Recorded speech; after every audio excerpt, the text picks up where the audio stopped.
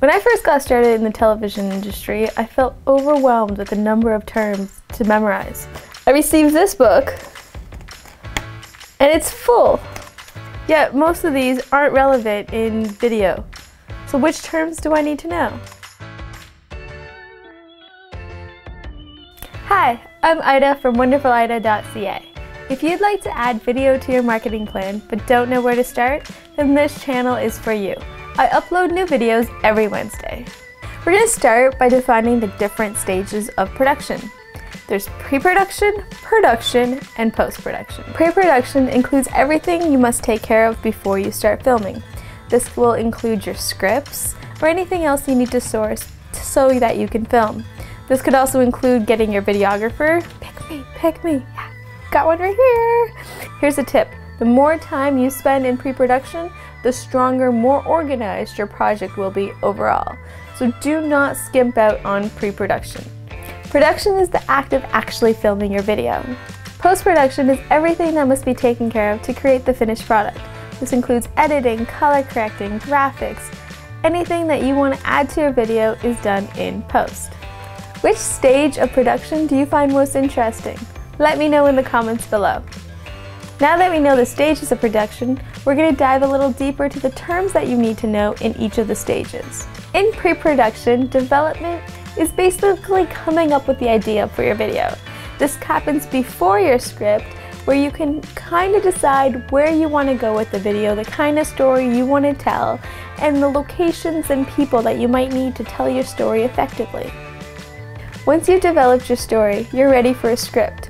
An AV script is great for corporate videos. What it does is it breaks down your audio and your video. So your audio is anything that anyone says, and your video is the images that go on top of it. Next up, you gotta figure out where you're gonna shoot. Shooting schedule helps you determine where you're gonna be, what you're gonna be shooting, the types of people you're gonna be interviewing, the types of activity you're gonna need. It's gonna tell you exactly where and when and what you're capturing that day. Next, a call sheet. A call sheet basically runs you through all you need to know for what is happening that day, what location you'll be shooting on, which scenes you'll be shooting, and which people are involved. Okay, now we're ready for production. In production, the first thing you need to know is your call time. Call time is the time that you have to be there ready to start shooting.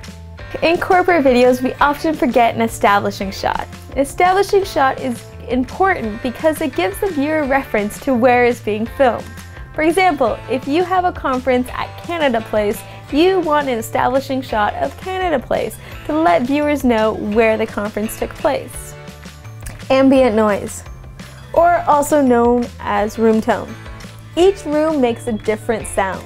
In order for the editor to have what they need, they need at least a 60 second clip of what the room itself sounds like. So for this, they will ask everyone to pause or quiet down for 60 seconds so that they can record the sound so that it's later used in post. And finally, wrap.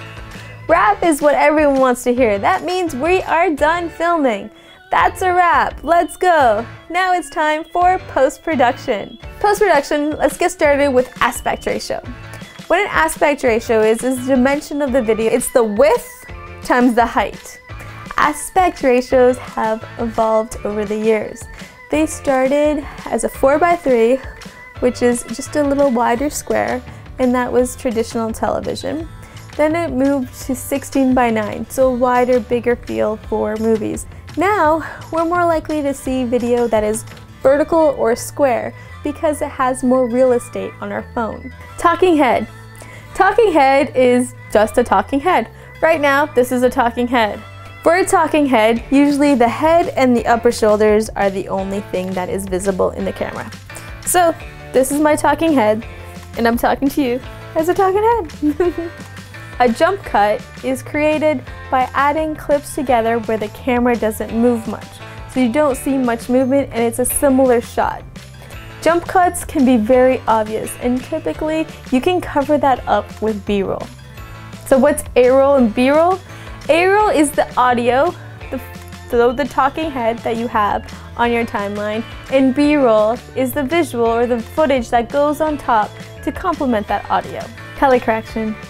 color correction isn't really noticeable when it's done correctly, but it's very noticeable when it's done wrong.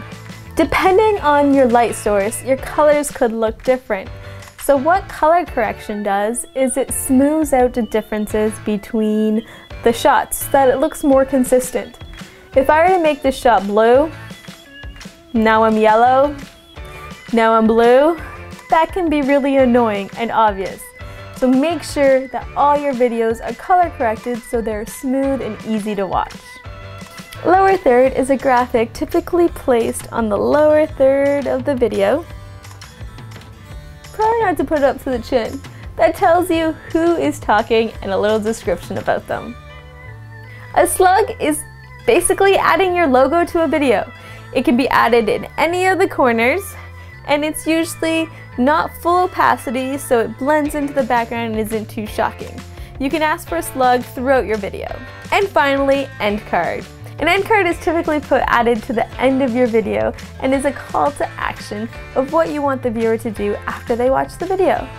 I've prepared a video terminology cheat sheet for you. The link is in the description below. Go get it!